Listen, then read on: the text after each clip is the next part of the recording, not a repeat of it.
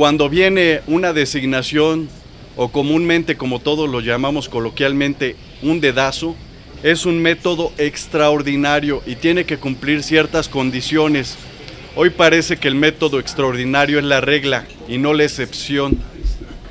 Estamos invitando al Partido Acción Nacional a nivel estatal, pero muy específicamente luchando por el bien de los militantes de Corregidora, para que este método de excepción no sea utilizado en el municipio de Corregidora, que se vaya por el método convencional, que es el método de elección hacia su militancia.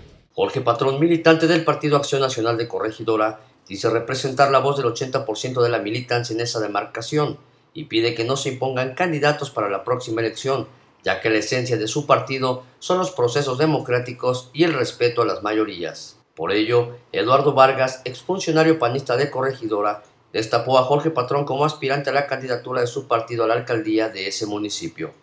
Patrón Lira dijo que si la militancia de su partido lo apoya, entonces buscaría la candidatura. También criticó se mencione a Mauricio Curi como posible candidato, pues él no tiene ni una hora de panista, si bien es un excelente empresario, pero hasta ahí.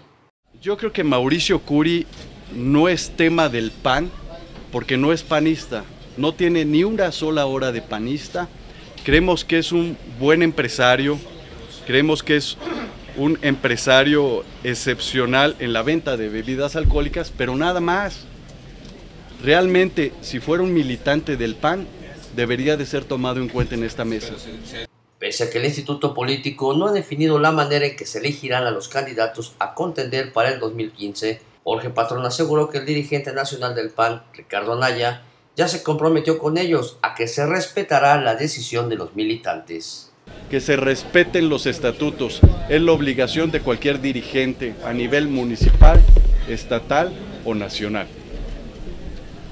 Y esa es la garantía, perdón, y esa es la garantía que nos dio la semana pasada el presidente nacional en funciones, Ricardo Anaya Cortés. Esa es la garantía que nos dio y hoy venimos a transmitirla.